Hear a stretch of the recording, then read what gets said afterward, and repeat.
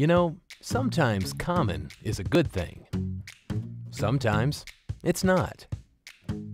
But when it comes to career and technology education, everyone knows that common just can't compete.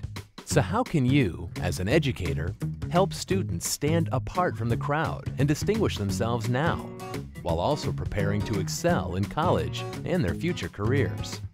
Certiport is the cure for the common technology education, with a pathway to take your students from common to cutting edge by helping them get certified and get noticed. The Certiport Total Solution begins by providing you additional resources to supplement your curriculum and develop your students' skills. Next, you and your students can take advantage of Certiport practice exams to build confidence and check preparedness. Third, your students validate their knowledge with official, industry-recognized certification exams. Certiport testing always takes place in a proctored environment.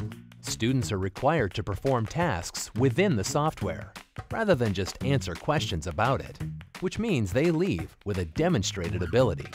No two students are the same.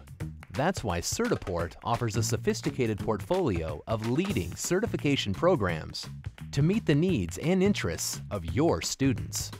You'll find certifications for the tech minimalists who need proficiency beyond the operation of their smartphone, the budding business buff who has already mastered the art of human networking, the creative graphics genius who doodles in animated form, and the tech-savvy guru who serves as personal IT support for the principal. Studies show these students do better in school and getting jobs than their peers. They build their resumes with verifiable value, and they become the most productive and sought-after employees. What you're giving your students goes beyond certification.